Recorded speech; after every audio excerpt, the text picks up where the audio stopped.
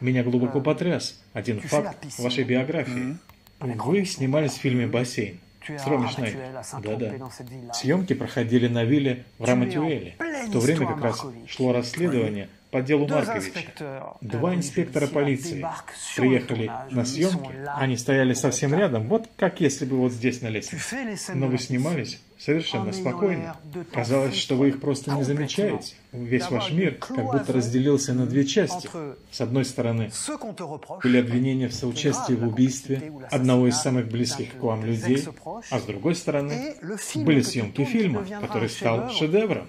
Как можно было такое выдержать? Я не обращал на это никакого внимания. Вел себя самым естественным образом. Но ведь это невероятная история. Да хоть будь там рядом сам дьявол, я все равно вел бы себя так же. Я бы сказал ему, что ты тут стоишь, а ну, вали отсюда. Полицейские вас допросили, а потом вы... А потом я вернулся на съемки. Это сейчас Ален так бодро все вспоминает.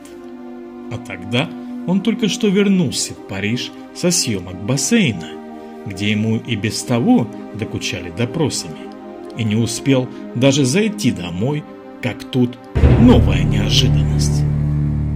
Эта новость молнией облетит весь Париж. Делон арестован.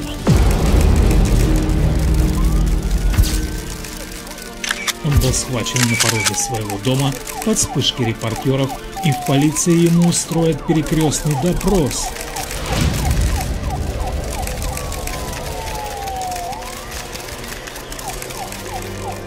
Он почти сознается в убийстве и почти сдаст своих, но на ночь его бросят в камеру. Он повзрослеет за эту ночь, и утром мир увидит уже другого Делона.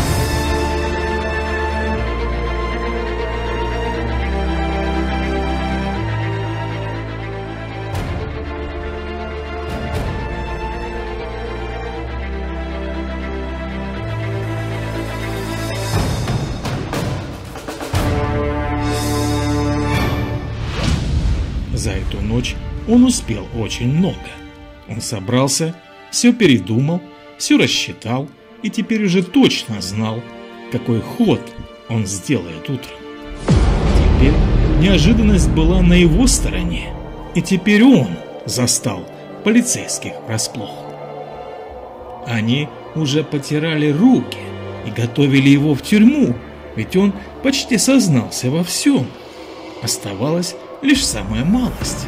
Это его алиби, согласно которому во время совершения убийства он был на юге на съемках.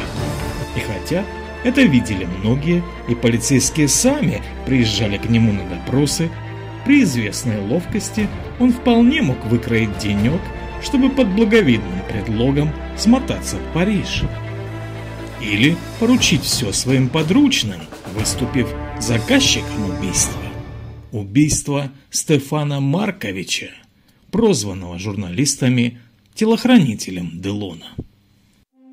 Об этом убийстве и вообще о деле Марковича мы выпустим специальное видео, где расскажем все подробности подписчикам нашего канала. А если вы пока еще не в их числе, то сейчас самое время это сделать. И не забудьте включить праздничный колокольчик – чтобы никогда уже не пропускать наши самые интересные новинки. В первый день ареста от неожиданности Делон наговорил на себя так много, что полиция уже не сомневалась в успехе. И они напрасно дали ему передохнуть, ведь за эту ночь он понял важнейшую вещь, которая спасла его от тюрьмы тогда и потом, уже после, не раз спасала от множества неприятностей. Он понял, что его, пусть даже самые честные и искренние слова, могут быть всегда и каждым использованы против него. Всегда и каждым. Не только полицией, но и вообще любыми врагами и недоброжелателями. Даже теми, а может быть и особенно теми, кто еще вчера был в числе твоих самых близких друзей. За эту ночь с ним произошла необычайная метаморфоза, и в этой перемене, в этом умении преобразиться, и даже, если хотите возродиться, словно феникс из пепла, высочайший и безусловный гений Делона, который всегда в самых сложных ситуациях сохранял хладнокровие, трезвость и ясность ума, и самое главное – продуманность и взвешенность каждого сказанного слова. На утро он заявил ошарашенным полицейским, что отказывается от всех показаний и настаивает только на одном – на своем железном алиби, и ничего другого не может пояснить, так как в момент убийства находился за тысячу километров от него, и ему об этом ничего не известно. Полиции не оставалось ничего другого, как при таких обстоятельствах снять с него наручники, извиниться и отпустить Делона. Но на улице его поджидала толпа репортеров. Все хотели подробностей, что же произошло, и из всей толпы он выбирает только одного – иностранца, журналиста английской BBC. Они вместе едут к нему домой, и там Ален дает самое важное интервью своей жизни.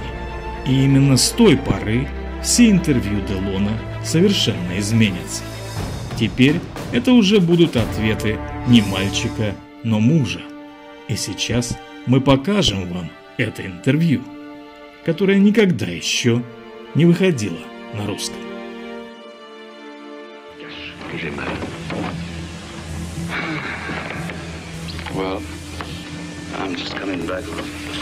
Итак, я только что вернулся с 48-часового допроса. Это не было развлечением, но что поделать? В любом случае, я не очень устал. Я вернулся домой. Сейчас поиграю 5 минут бильярд, и я забуду абсолютно все. Все в порядке. Тело Стефана Марковича было найдено 1 октября. Люди говорят, что он был вашим телохранителем.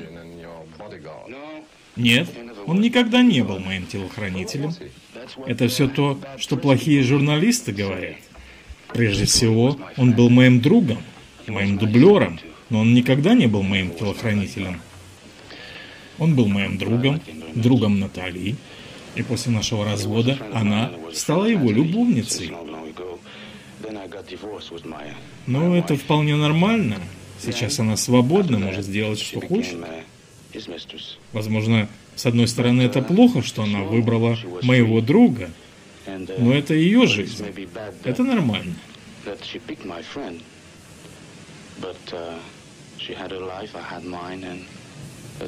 В вашем окружении было много искателей приключений, не так ли? Ну да, а почему нет? Я считаю, что это мое право выбирать себе друзей и быть выбранным ими. Для меня не имеет никакого значения, гангстеры ли они, крутые ребята, или, может быть, даже монахи или священники. На этих двух снимках Марк Антони, главный мафиоза и последний крестный отец всей Франции, который недавно скончался. И с юности был большой друг Алена Делон. Способны ли вы убить человека – и убивали ли когда-либо? Ну, это очень странный вопрос. Самый разгар дела Марковича. Вот это ключевой вопрос, обратите внимание. Как отвечает Ален? Если я отвечу вам «да», люди подумают «ага». Но если я отвечу вам, что «нет», то люди подумают «а-ха-ха». Александр Маркович, брат Стефана, утверждает, что не раз встречал у вас дома месье Помпиду. Нет, это вранье. Он врет. Здесь стоит сказать, что Помпиду тогда был кандидатом на выборы президента, соперником действовавшего президента Деголя. А у вас в Париже ходят слухи, как будто как будто месье Помпиду и люди из его окружения неоднократно участвовали в сексуальных оргиях. И даже утверждается, что Делону очень нравятся подобные вещи. Ну, я называю это все пустой болтовней, абсолютно чистым вымыслом. Во время допроса полиция убедилась, что о никаких оргиях не могло быть даже и речи. Это было все проверено и подтверждено полицией, что никогда ничего похожего не имело места быть. Но лично я считаю, что наилучший вид оргии – это когда любовью занимаются двое людей, а не толпа.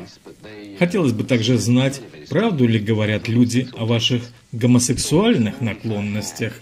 А что, собственно говоря, в том дурного, если бы даже это и было бы правдой? Какие бы тогда были ко мне претензии? Я делаю то, что мне нравится. Если это мне нравится, я это делаю. Есть такая фраза Мишеля Симона, одного из самых известных актеров во Франции. Он говорил, что если вы хотите заниматься любовью с кем-то, хоть даже со своей собственной козой, то нет вопросов, занимайтесь. Главное, чтобы у вас была сама любовь. И именно это здесь является самым важным. А как считаете вы, согласны ли вы с Аленом Делоном? Напишите об этом в комментариях.